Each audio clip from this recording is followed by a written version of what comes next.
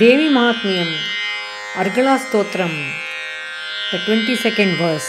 Chanting this will help a person to get everything in life and lead life like a king.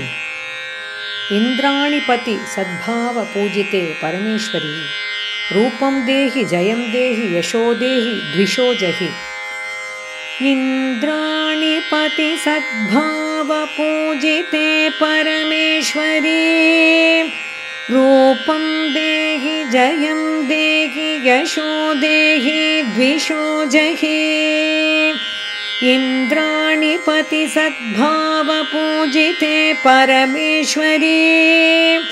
रूपं देहि जयं देहि यशो देहि द्विषो जहि इन्द्राणिपति सद्भावपूजिते परमेश्वरी।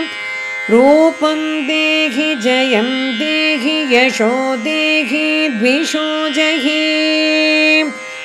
इन्द्राणिपति सद्भावपूजिते परमेश्वरी। रूपं देहि जयं देहि यशो देहि द्विषो जहि इन्द्राणिपति सद्भावपूजिते परमेश्वरी रूपं देहि जयं देहि यशो देहि द्विषो जहि